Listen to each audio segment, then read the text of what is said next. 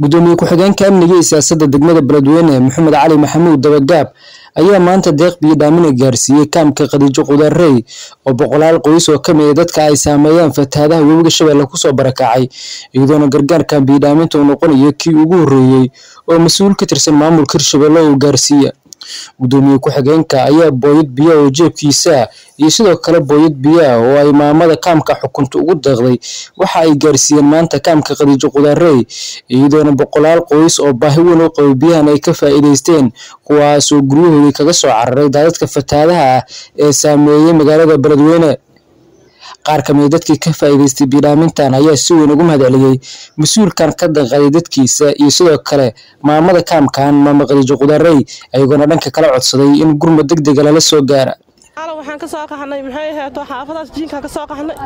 Maxay heeto meeshaan kaam ka imaanay maxaan lahay biyo la'aan? Sisiyeer la'aan? Maxay heeto cunto la'aan? Baahi waa iska jirtaa.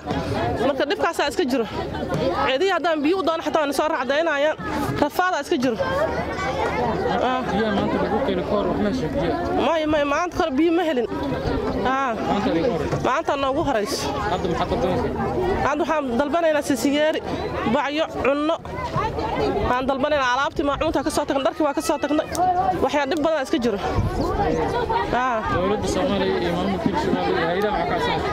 hayadaha waxaa cunno iyo meelaan seexanay iyo maxay ahaato sisiyeeri waxyaalo badan baahi badan waa iska jirtaa caadaanka soo barakacay alaabtii biyaa naga qaaday biyo ma haysano.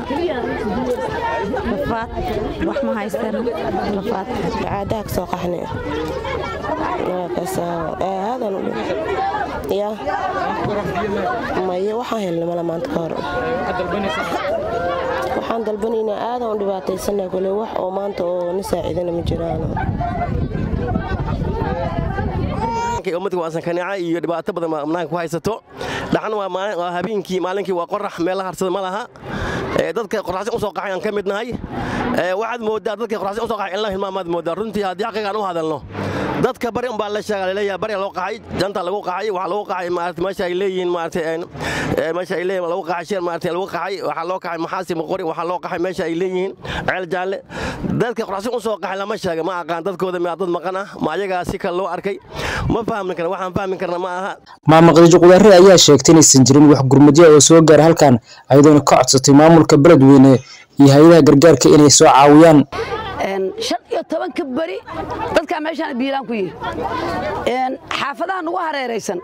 Ayaa awal waxaa la samayn jiray qaxootigay biyo u doonan jireen markay sidaan oo kale dhacdo xaafadihiini waa ka wada go'een tubooyinka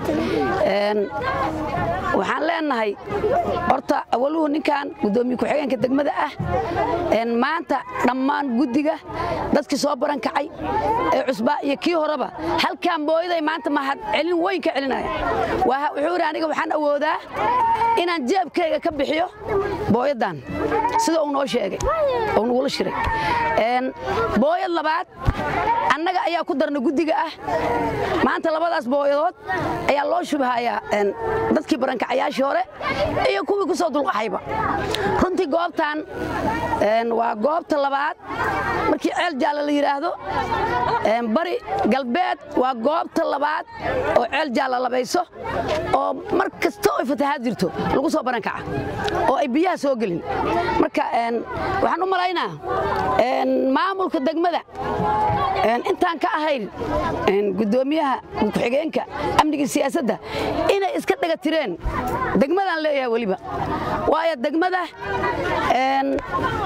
markii uu yimid madaxweynaha hirshabeelle sahanay sameeyeen waxay ku wareegeen meelihii biyaha.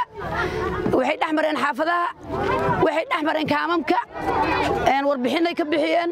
Annaga meediyahan waxaan ka aragnay inqadka meediyahana waan ka dhagaysannay runtii ekis ariboor gudoomiyaha degmada beledweyne waa uu ku soo celceliyey.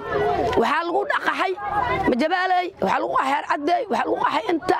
Waxaa lagu qaxay ekis ariboor ekis ariboor gudoomiyaha degmada beledweyne waa ku soo celceliyey. Haddana weli intuu yimaado war dadkii ku qaxay asaaba sheegay inuu yimaado soo kormeero arko. Hadduu waxayna hataa rajigelin u sameeyo bulshada mas'uulow ka yahay inay arkaan. Gabagabadii gudoomiye ku-xigeenka amniga iyo siyaasadda degmada beledweyne maxamed cali maxamuud dabagaab ayaa si kulal uga hadlay hay'adaha gargaarka iyo maamulka intiisa kale oo uu sheegay inay iska hilmaameen dadka ku barakacay kuna goodoonsan xaafadaha howlwadaag iyo buunduweyn ay u tahay doqodiijo wakiil ay u tahay. In sidaan ay hadda ay u qabatay wixii kaloo u imaadane ilaa axaddii ay biibaxad maga imaada ay dadka qaban jirtay oo dhihi jirtay meel la dejiye anaha ayay soo tilmaamo.